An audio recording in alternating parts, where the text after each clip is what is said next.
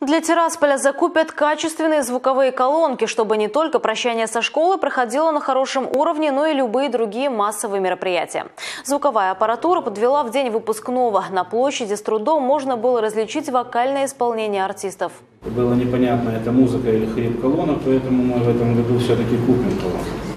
Тирасполе сейчас готовятся к приезду патриарха Московского и всея Руси Кирилла. Для этого мероприятия звуковое оборудование и видеоэкраны власти возьмут в аренду. 8 сентября предстоятель Русской Православной Церкви прибудет на два дня в Приднестровье. В Тирасполе на площади установят сцену, на ней патриарх Кирилл проведет литургию. Рядом будут установлены большие экраны, чтобы все могли наблюдать за происходящим. Напротив Дворца пионеров.